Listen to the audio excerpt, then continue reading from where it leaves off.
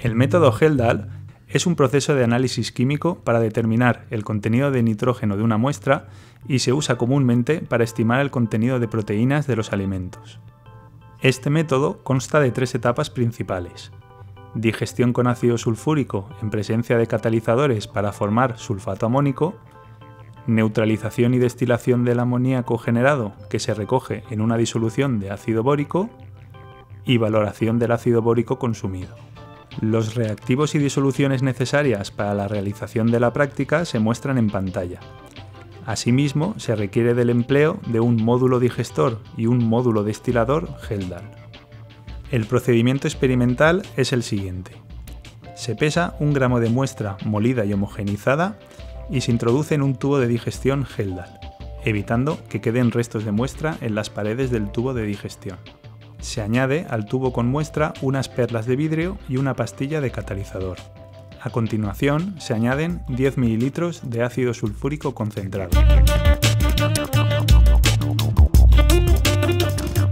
Se colocan los tubos de digestión con las muestras en el módulo digestor y se conecta la bomba de vacío y el colector de humos.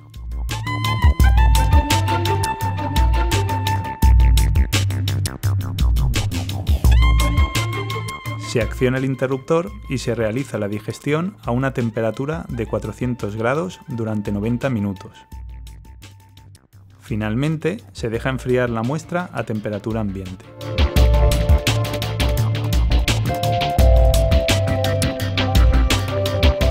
Se dosifican lentamente 50 ml de agua destilada en cada tubo de muestra, dejando caer el agua lentamente por las paredes del tubo.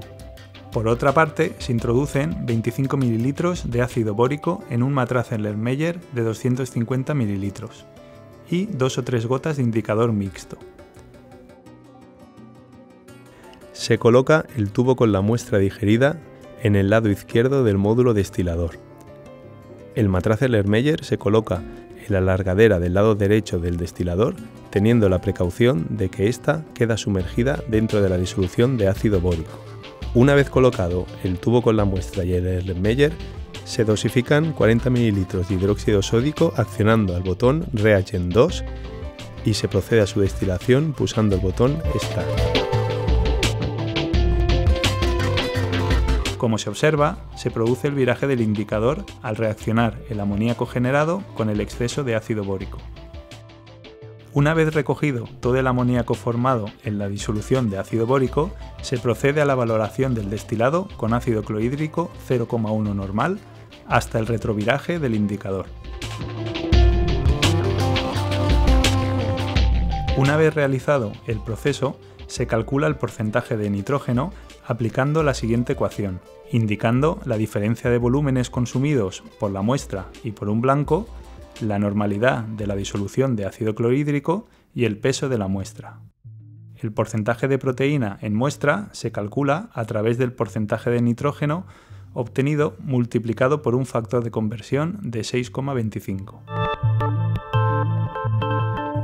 Para finalizar, se introducen los residuos generados en las garrafas correspondientes.